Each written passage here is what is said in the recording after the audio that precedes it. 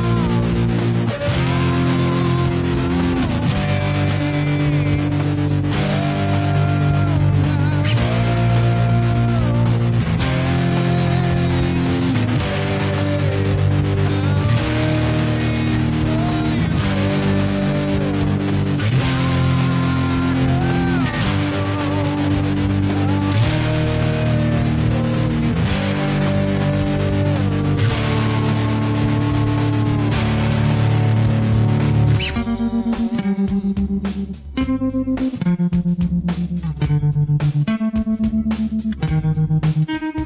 on my deathbed, I'm afraid.